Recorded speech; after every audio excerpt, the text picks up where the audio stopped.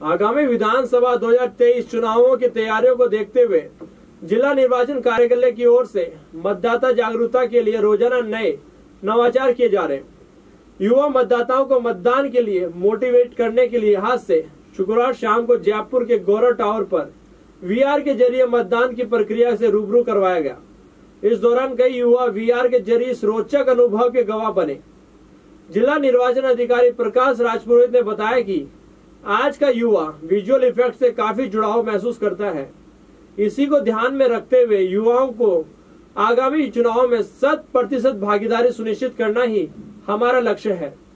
राजपुरोहित ने कहा कि मतदाता जागरूकता अभियान को आगे ले जाते हुए इसलिए वीआर प्रेजेंटेशन कार्यक्रम किया गया।